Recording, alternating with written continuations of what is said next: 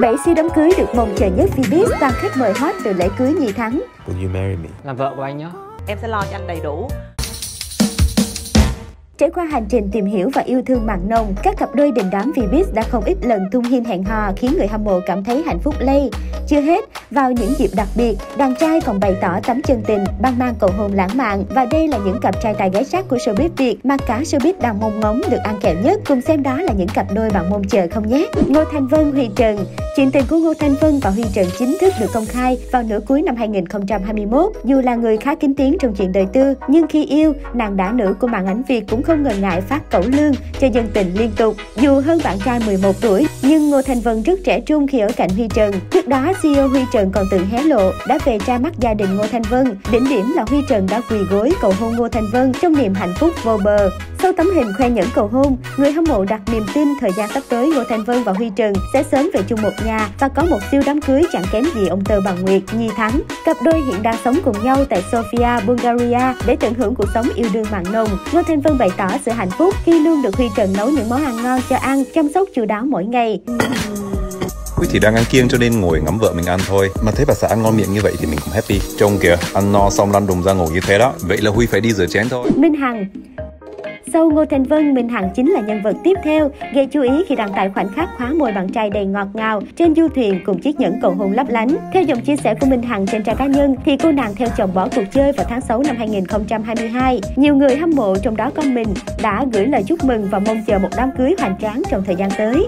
Và luôn có sự cân nhắc nó đi kèm với là cái lòng tin thì Hằng và bạn trai Hằng thì lại được cái điều đó và người ấy rất là ủng hộ cho tất cả những cái um, quyết định của mình. Phạm Quỳnh Anh Bên cạnh Ngô Thanh Vân, Minh Hằng, Phạm Quỳnh Anh cũng là cái tên đã chiếm sóng mạng xã hội với màn cầu hôn hoành tráng, nghi là của tình trẻ dành cho nữ ca sĩ. Dù không công khai chuyện tình cảm của mình lên mạng xã hội, nhưng qua những tấm hình check-in trẻ trung tươi mới, người hâm mộ đều đoán rằng nữ ca sĩ đang rất hạnh phúc. Cô cũng từng chia sẻ mình vẫn tin vào định mệnh và sẵn sàng mở lòng cho lần kết hôn thứ hai. Hương Giang, Mắt Liêu nên duyên nhờ chương trình người ấy là ai, chuyện tình của Hương Giang và Mắt Liêu vẫn đang là điểm nóng dư luận. Không ít lần thể hiện tình cảm với những bức ảnh tình tứ, check-in tại nhiều địa điểm, cặp đôi thực sự đã không ngần ngại chứng minh cho người hâm mộ thấy tình cảm chân thành mà họ dành cho nhau. Sau những lần dính nghi vấn rạn nứt tình cảm, cặp đôi đã comeback với những màn cổng lương ngọt ngào, thậm chí họ còn lộ hình sống chung một nhà. Được biết, Mắt Liêu đã ra Hà Nội và sống cùng gia đình bạn gái suốt nhiều tháng mùa dịch, khiến người hâm mộ càng thêm háo hức, mong chờ đám cưới thế kỷ sẽ diễn ra trong thời gian tới.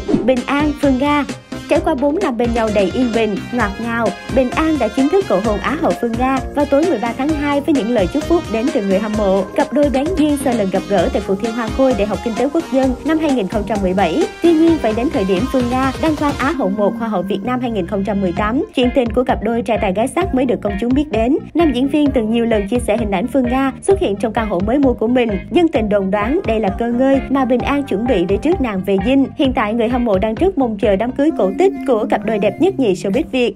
Anh ơi tham lam một xíu.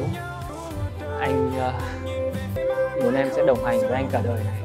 Hồ Ngọc Hà, Kim Lý Chuyện tình ồn ào của Hồ Ngọc Hà và Kim Lý từng khiến giới truyền thông tốn không ít giấy mực. Họ bén duyên từ năm 2017 sau lần đóng chung MV Cả một trời thương nhớ. Nắm tay nhau vượt qua tất cả, Kim Lý và Hồ Ngọc Hà đăng ký kết hôn sau 3 năm hẹn hò đầy lãng mạn vào năm 2020. You, me, Leon, Lisa and Henry. I promise to always be there for you.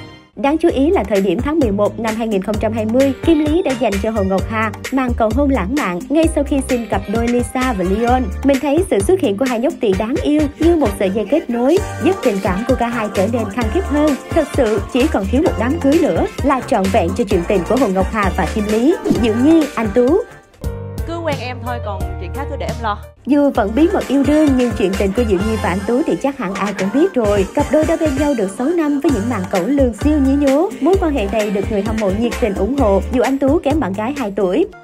Khi quen anh um, kêu anh bằng anh thôi chứ anh nhỏ hơn em 2 tuổi. Vào giữa tháng 8 năm 2021, mạng xã hội xôn xao trước thông tin anh Tú và Diệu Nhi đón con đầu lồng. Tuy nhiên, cặp đôi diễn viên chưa từng lên tiếng xác nhận chuyện sinh con. Dù netizen đã lan truyền nhiều bằng chứng, trải qua thời gian dài bên nhau, người hâm mộ kỳ vọng về một đám cưới viên mãn của anh Tú và Diệu Nhi trong thời gian tới. Đây đều là những gương mặt đơn đám trong Vbiz với chuyện tình cảm được công chúng ủng hộ nhiệt tình. Hy vọng trong thời gian tới, cư dân mạng sẽ lần lượt được chứng kiến khoảnh khắc ngọt ngào trong đám cưới thế kỷ của họ. Điều đặc biệt hơn chính là quá nửa nhân vật của bài viết này đều từng xin vía trong đám cưới của Đông Nhi và ông Cờ Thắng. Hôm đó Ngô Thanh Vân còn bắt được hoa cưới, gián tiếp nhờ truyền phạm của cô dâu Đông Nhi.